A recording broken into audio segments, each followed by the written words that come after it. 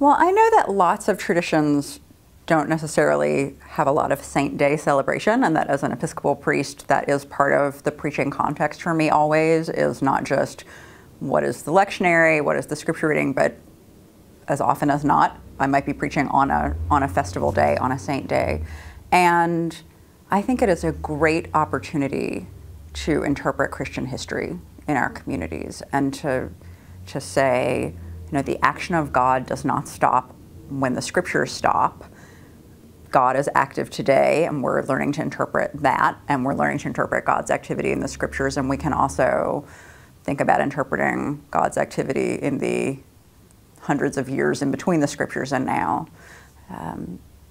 so I think that preaching preaching the odd weekday Saints' Day homily is I think it's fun for the preacher, it's fun for the auditors, the listeners, uh, and I think it